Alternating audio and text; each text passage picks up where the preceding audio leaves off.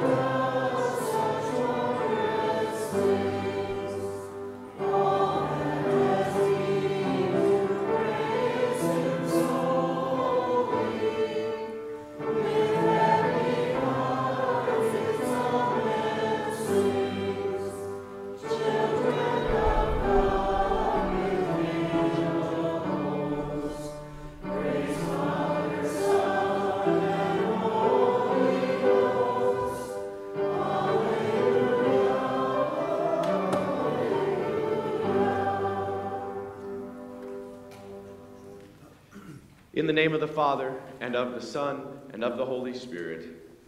Amen.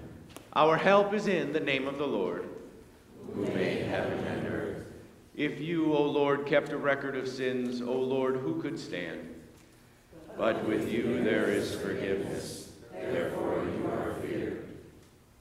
Since we are gathered to hear God's word, call upon him in prayer and praise, and receive the body and blood of our Lord Jesus Christ in the fellowship of this altar, let us first consider our unworthiness and confess before God and one another that we have sinned in thought, word, and deed, and that we cannot free ourselves from our sinful condition. Together, as his people, let us take refuge in the infinite mercy of God our Father, seeking his grace for the sake of Christ and saying, God, be merciful to me, a sinner. Almighty God, have mercy upon us. Us our sins, and us life. Almighty God, in his mercy, has given his Son to die for you, and for his sake forgives you all your sins. As a called and ordained servant of Christ, and by his authority, I therefore forgive you all your sins in the name of the Father, and of the Son, and of the Holy Spirit. Amen. Continue as we speak responsibly the Introit. Make me understand the way of your precepts. And I will meditate on your wondrous works. My soul melts away for sorrow. Strengthen me according to your word. Put false ways far from me. And graciously teach me your law. I have chosen the way of faithfulness. I set your just decrees before me. I cling to your testimonies, O Lord. Let me not be put to shame. I will run in the way of your commandments. When you enlarge my heart. Glory be to the Father, and to the Son, and to the Holy Spirit, as it was in the beginning, is now, and will be forever. Amen. Make me understand the way of your precepts. And I will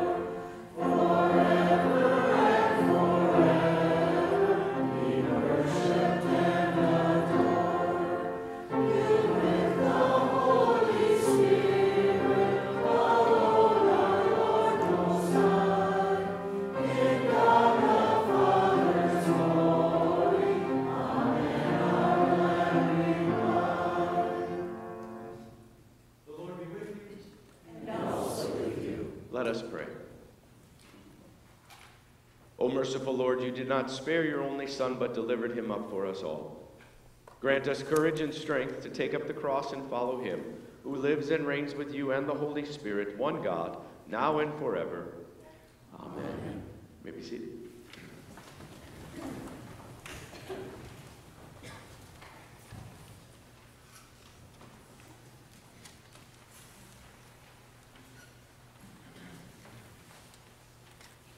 The Old Testament reading for the 13th Sunday after Pentecost is from Deuteronomy chapter 30. See, I have set before you today life and good, death, and evil. If you obey the commandments of the Lord your God that I command you today, by loving the Lord your God, by walking in his ways, and by keeping his commandments and his statutes and his rules, then you shall live and multiply, and the Lord your God will bless you in the land that you are entering to take possession of it. But if your heart turns away, and you will not hear, but are drawn away to worship other gods and serve them, I declare to you today that you shall surely perish. You shall not live long in the land that you are going over the Jordan to enter and possess. I call heaven and earth to witness against you today that I have set before you life and death, blessing and curse. Therefore, choose life, that you and your offspring may live, loving the Lord your God, obeying his voice, and holding fast to him. For he is your life and length of days, that you may dwell in the land that the Lord swore to your fathers, to Abraham, to Isaac, and to Jacob, to give them. This is the word of the Lord. Thanks be to God. The epistle reading is from the book of Philemon. Paul, a prisoner for Christ Jesus, and Timothy, our brother. To Philemon, our beloved fellow worker, and Apphia, our sister, and Archippus, our fellow soldier, and the church in your house. Grace to you and peace from God our Father and the Lord Jesus Christ. I thank my God always when I remember you in my prayers, because I hear of your love and of the faith that you have toward the Lord Jesus and all the saints. And I pray that the sharing of your faith may become effective for the full knowledge of every good thing that is in us for the sake of Christ. For I have derived much joy and comfort from your love, my brother, because the hearts of the saints have been refreshed through you. Accordingly, though I am bold enough in Christ to command you to do what is required, yet for love's sake I prefer to appeal to you. I, Paul, an old man and now a prisoner also for Christ Jesus, I appeal to you for my child Onesimus, whose father I became in my imprisonment. Formerly he was useless to you, but now he is indeed useful to you and to me. I am sending him back to you, sending my very heart. I would have been glad to keep him with me, in order that he might serve me on your behalf during my imprisonment for the gospel. But I preferred to do nothing without your consent, in order that your goodness might not be compulsion, but of your own free will. For this perhaps is why he was parted from you for a while, that you might have him back forever, no longer as a slave, but more than a slave, as a beloved brother, especially to me, but how much more to you, both in the flesh and in the Lord. So if you consider me your partner, receive him as you would receive me. If he has wronged you at all or owes you anything, charge that to my account. I, Paul, write this with my own hand. I will repay it, to say nothing of your owing me even for your own self. Yes, brother, I want some benefit from you in the Lord. Refresh my heart in Christ. Confident of your obedience, I write to you knowing that you will do even more than I say. This is the word of the Lord. Let us stand as we sing the Alleluia, the verse, and hear the gospel.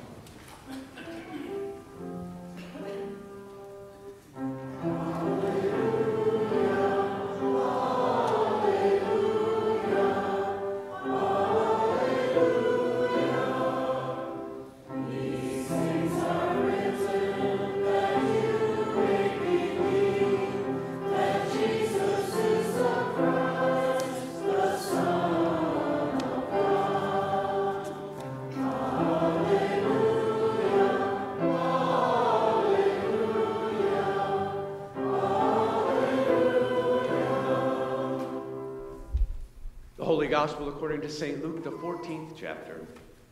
Glory to you, O Lord. Now great crowds accompanied Jesus, and he turned and said to them, If anyone comes to me and does not hate his own father and mother and wife and children and brothers and sisters, yes, and even his own life, he cannot be my disciple. Whoever does not bear his own cross and come after me cannot be my disciple. For which of you, desiring to build a tower, does not first sit down and count the cost, whether he has enough to complete it. Otherwise, when he has laid a foundation and is not able to finish, all who see it begin to mock him, saying, This man began to build and was not able to finish. Or what king, going out to encounter another king in war, will not sit down first and deliberate whether he is able with 10,000 men to meet him who comes against him with 20,000? And if not, while the other is yet a great way off, he sends a delegation and asks for terms of peace. So therefore, any one of you who does not renounce all that he has cannot be my disciple. Salt is good, but if salt has lost its taste, how shall its saltiness be restored? It is of no use either for the soil or for the manure pile, it is thrown away. He who has ears to hear, let him hear. This is the gospel of the Lord. Praise to you, O Christ. We confess our faith together using the words of the Nicene Creed. I believe in one God, the Father Almighty, maker of heaven and earth, and of all things visible and invisible, and in one Lord Jesus Christ, the only begotten Son of God, begotten of his Father before all worlds, God of God, light of light, very God of very God, begotten not made, being of one substance with the Father, by whom all things were made, who for us men and for our salvation came down from heaven, and was incarnate by the Holy Spirit of the Virgin Mary, and was made man, and was crucified also for us under Pontius Pilate. He suffered and was buried, and the third day he rose again according to the Scriptures, and ascended into heaven, and sits at the right hand of the Father. And he will come again in glory to judge both the living and the dead, whose kingdom will have no end. And I believe in the Holy Spirit, the Lord and giver of life, who proceeds from the Father and the Son, who with the Father and the Son together is worshipped and glorified, who spoke by the prophets. And I believe in one holy Christian and apostolic church. I acknowledge one baptism for the remission of sins, and I look for the resurrection of the dead and the life of the world to come. Amen. You may be seated for our next hymn, 713. From God Can Nothing Move Me, 713.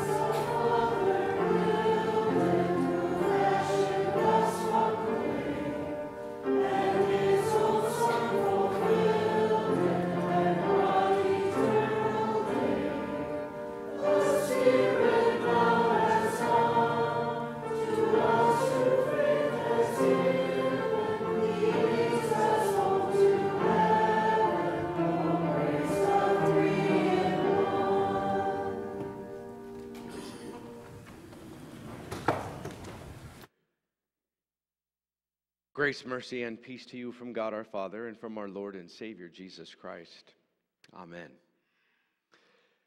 Dear brothers and sisters in Christ, the, the world today doesn't like extremes or, or extremists, right?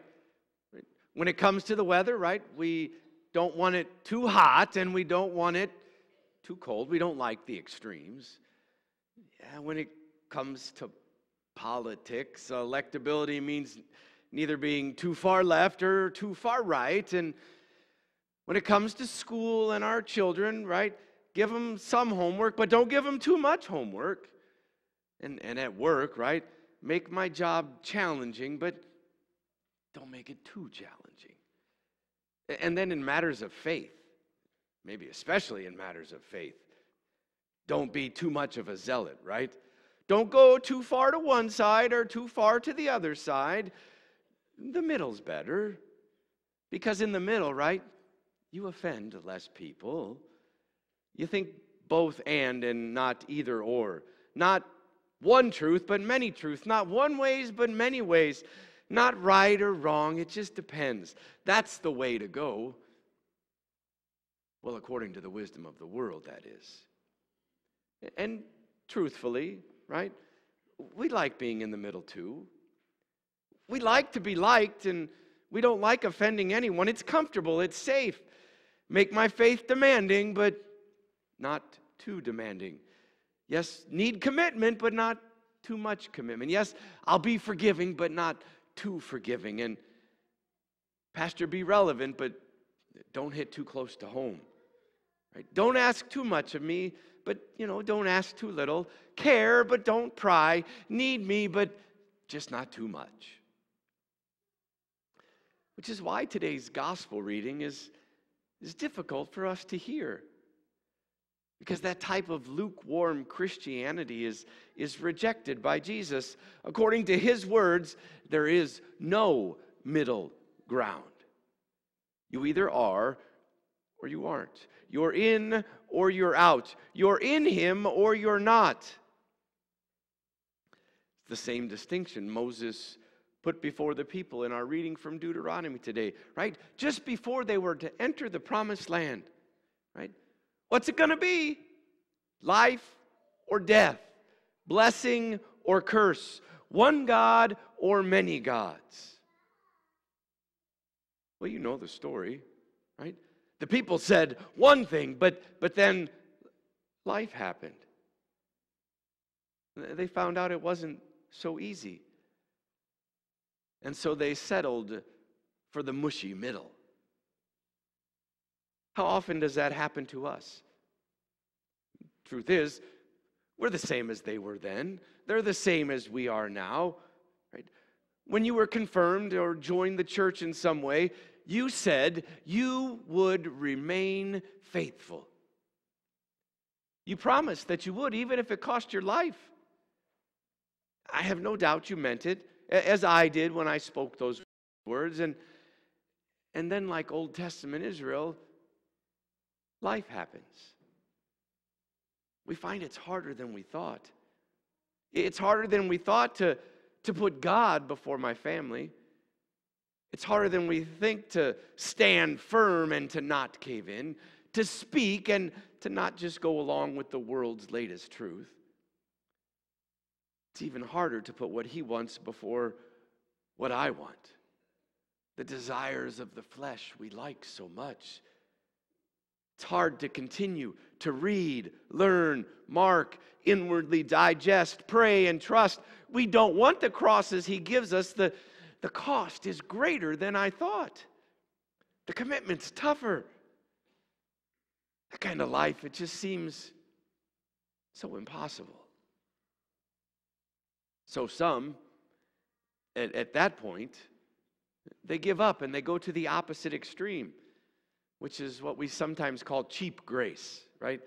Which is to say, well, I can't do it, and because it doesn't matter, because I know Jesus will forgive me anyway, right?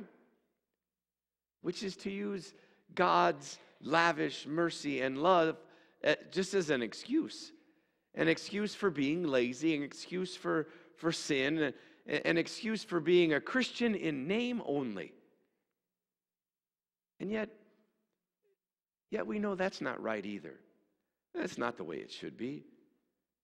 And so, not being able to do the one and knowing we shouldn't do the other, we settle into the mushy middle where we simply become anonymous Christians, bored Christians, unsalty Christians, which is just how Satan likes it. Jesus knows the danger of the mushy middle ground and how deadly it is, both for us and for those around us, underestimating the power of sin and the deadly mishmash of truth and error. So, what are we to do? We can't do the one. We shouldn't do the others. How then do we live as Christians? How then do we live as disciples? Well, the answer is not to live at one extreme or the other, but or to mash them together in the middle, but to live in both extremes at the same time. Something quite different than the middle, which tones down or dilutes both the law of God, right? His demands for us, and it dilutes the gospel of God, His lavish love and mercy for us, and stirs them into a mishmash of lukewarm, unrecognizable Christianity, which is really no Christianity at all. Instead, to live at both extremes is to neither tone down or to tame either the law or the gospel, but keeps them both in their strength and in their truth and in their purity. To live in the extreme of the law, which demands everything from us, and to live in the extreme of the gospel, which demands nothing from us to live in the extreme of the law, which crushes us and brings us despair on our own efforts, and to live in the extreme of the gospel, which gives us life, hope, and the forgiveness we need. Or, in other words, to be a Christian takes everything, and it takes nothing. And where we see this truth most vividly displayed is there on the cross. The cross, which cost Jesus everything. Jesus, the one who counted the cost to build that tower we heard about in the gospel reading, to build that fortress, his refuge, the church, the one who came to pay the cost in our place leaving his throne in heaven, being born of a virgin, being despised and rejected by men, then drinking the cup of God's wrath against our sin and dying our death. He's the king who came to battle the armies of the prince of this world, asking not for peace, but warring against them, winning the fight we could not win. He is the one who loved us more than his own life and so gave his life that we might live. And his it is finished on the cross indicated that it was. It is finished. All that is necessary, all that was demanded, done. The law fulfilled, our sin atoned for, our debt paid, our victory won. And what cost him everything? Cost us nothing. And necessarily so. For if there was something that we still would have to do, something we still would have to pay, something we have to supply, something we need to finish, then it was not finished on the cross. And we were still under the demands of the law, still under the condemnation of sin, still under the curse of death. Then Jesus would only be a part time Savior. And Guess where we'd be once again? Back in the mushy middle. And that just will not do because it is finished. We have been saved. We have a Savior. A Savior again to whom this morning we confessed, All right, Lord, I can't do it. I, I can't be your disciple. I haven't done it. Death and resurrection. That's what awaits. I cannot do it, Lord, on my own. But how great is his love for us? How great is his love for you when we gather and ask him for his forgiveness? We hear those beautiful words I forgive you all your sins. I forgive you for what you cannot be. It's not too much for me. You see, that's the key. Discipleship isn't something we choose or do, it's a gift. A gift of forgiveness. A life we're born again, born from above, from Adam and Eve to Abraham and Moses to David to the apostles to you and to me today. Right? All have sinned, not one excluded. Fall short of the glory of God, so we cannot be his disciple. We are justified by grace as a gift, given what we cannot do or be through the redemption that is in Christ Jesus our Lord. You see, Jesus wants all of you, not just part of you, not just the church part, not just the weekend part, not just the morning devotion part, the spare time part, or the part of your life you want to give Him. He wants all of you all the time. And so he gave himself for all of you, that all of you be forgiven. That through his death and his resurrection, you be salty once again. Not reformed, but recreated, made new, taken back to the beginning, taken back to Eden, just as if all that Satan and sin and rebellion and, and that death stuff never happened at all. That's how great his love is for you. That's how great his death is for you. That's how great his baptism for you, where he gives it all to you his forgiveness, his life, his salvation, all that you need. Nothing is held back because the Jesus who wants all of you gives himself, all of himself, to you. There's no partial gifts with him. No, he, he is all for you. Even also to the eating and drinking of his body and blood when we gather here at his altar, the life to strengthen, to give you the forgiveness, that it would be multiplied unto you, that you may not be all that you can be, but that you can be all that he is. Being the Christian, he has made you by his blood. So don't try to soften those words of Jesus that we hear today and say, oh, this, but, but they mean that. No. They're hard words. They're hard words because they're meant to crush us, to, to kill us, so that Jesus can raise us to new life. But that's the only way to be his disciple and it won't be easy. There's tough places in this world. There's tough places where you are right now.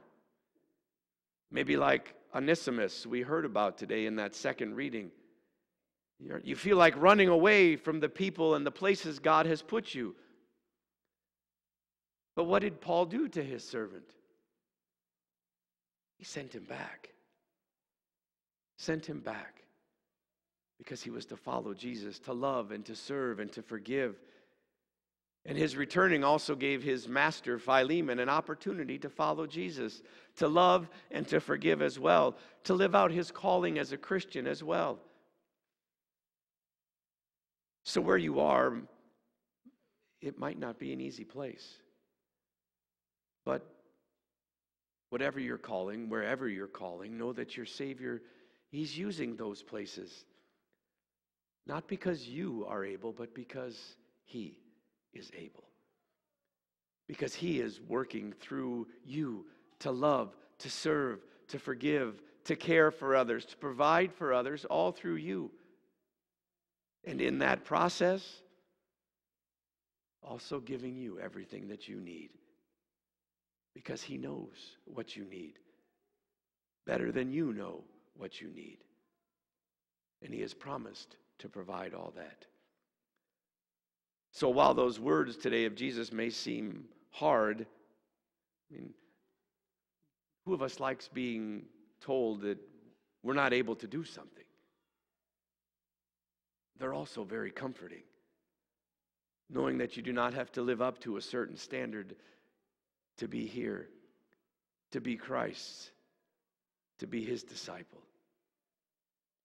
You see, you're not here because you are able.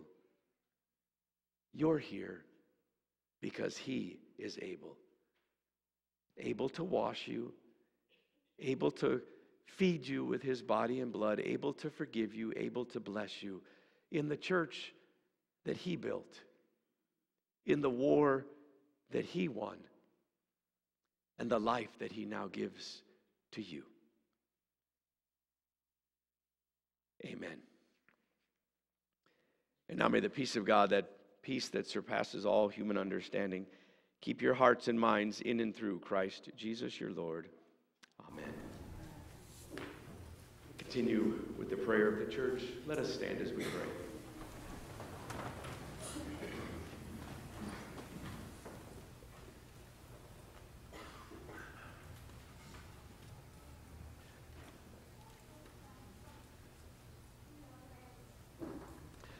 Let us pray for the whole people of God in Christ Jesus and for all people according to their needs. O God, our King, you counted the terrible cost of our salvation and sent your Son to give his life on the cross. Inspire our hearts to trust fully in his sacrificial victory, that we would follow in his way through death and into eternal life. Lord, in your mercy. Divine Shepherd, you give life to your church through your holy word. Grant your people always to walk in your way and receive your blessings as they serve you in this world and the life to come. Lord, in your mercy. Good Lord, preserve us from the ways of the wicked and prosper us in your paths. We commend to you all who bear office in our land and ask you to make them a blessing to those they serve. Grant to us every joy in the calling you have given to us that we might render service to you in our works of love toward our neighbor. Remember those in need of honest labor and daily bread, and give them gainful employment according to your good and gracious will. Lord, in your mercy. O Lord, give the strength of the Spirit to all who are suffering or are in any kind of need.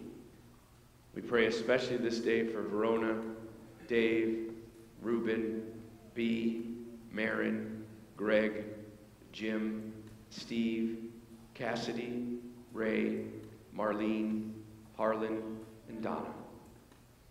We pray that they may all have the courage and will to take up their crosses and follow the Savior through the suffering into joys of life everlasting. Lord, in your mercy. Gracious Heavenly Father, we lift before you this day uh, Shirley Kranz and Joanne Eager at the death of their brother Sylvan. We thank you for calling him to faith in your Son, Jesus Christ. Lord, in your mercy. Amen. Almighty God, you have set before us life and death, blessing and curse in your holy word. And now at the altar, through his own word, your Son sets before us his own body and blood. Grant that all who receive the sacrament today might do so with prepared and penitent hearts, rejoicing in your gifts of forgiveness, life, and salvation for the sake of Jesus. Lord, in your mercy. Preserve us, O Lord, from all temptation and grant us faith, that we may rest all our prayers and the desires of our hearts in your merciful arms. For the sake of your Jesus, for the sake of your Son, Jesus Christ our Lord, who lives and reigns with you and the Holy Spirit, one God, now and forever. Amen. may be seated now as we gather our offerings to the Lord.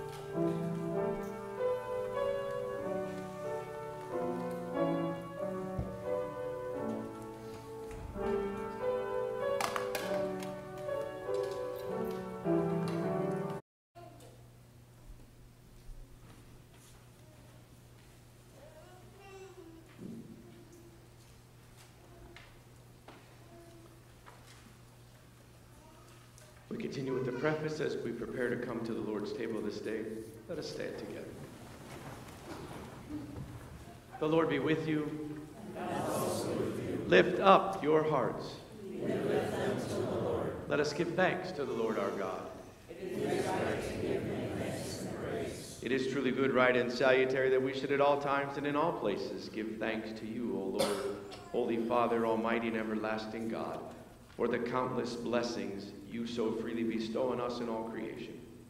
Above all, we give thanks for your boundless love shown to us when you sent your only begotten Son, Jesus Christ, into our flesh and laid on him our sin, giving him into death that we might not die eternally.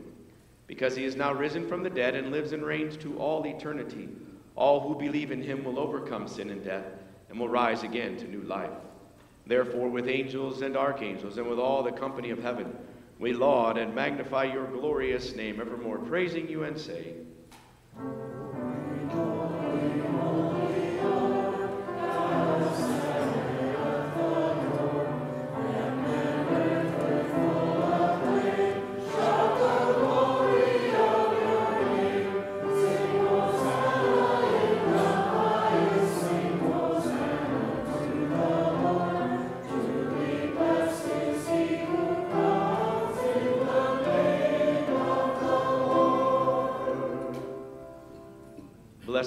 Lord our God, King of all creation.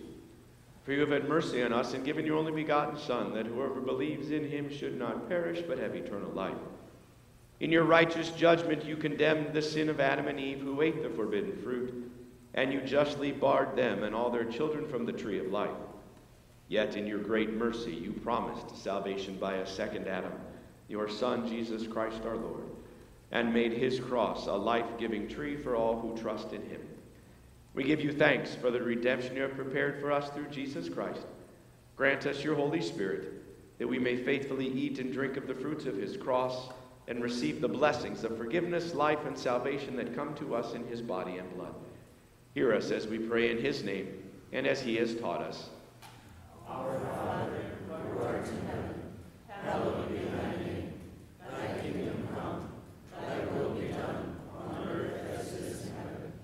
Give us this day our daily bread, and forgive us our trespasses, as we forgive those who trespass against us. And lead us not into temptation, but deliver us from evil. For thine is the kingdom, and the power, and the glory, forever and ever. Our Lord Jesus Christ, the same night in which he was betrayed, took bread. When he had given thanks, he broke it and gave it to his disciples, saying, Take, eat, this is my body, which is given for you. This do in remembrance of me. The same way also he took the cup after supper, and when he had given thanks, he gave it to them, saying, Drink of it, all of you. This is my blood of the New Testament, which is shed for you for the forgiveness of sins. This do as often as you drink it in remembrance of me. The peace of the Lord be with you always. We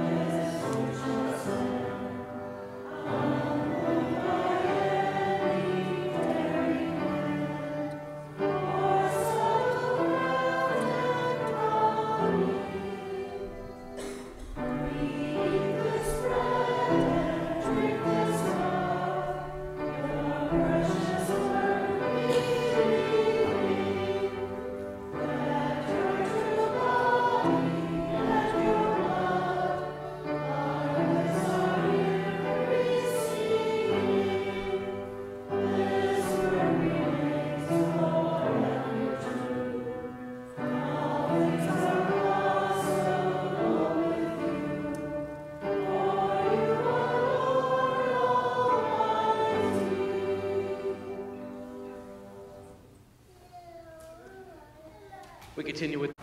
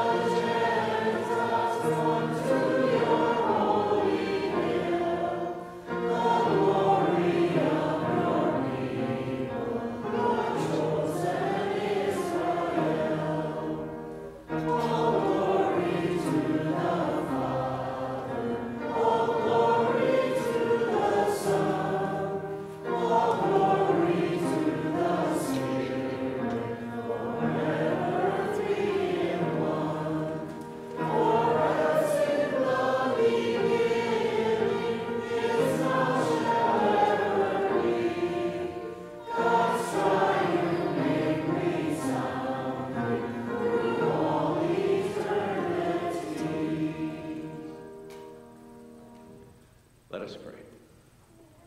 Gracious God, our Heavenly Father, you have given us a foretaste of the feast to come in the holy supper of your Son's body and blood. Keep us firm in the true faith throughout our days of pilgrimage, that on the day of his coming we may, together with all your saints, celebrate the marriage feast of the Lamb in his kingdom, which has no end.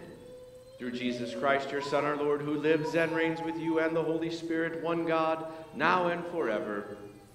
Amen. Let us bless the Lord. Thanks be to God. The Lord bless you and keep you. The Lord make his face shine on you and be gracious to you. The Lord look upon you with favor and give you peace. Amen. May be seated for our closing hymn 783. Take my life and let it be 783.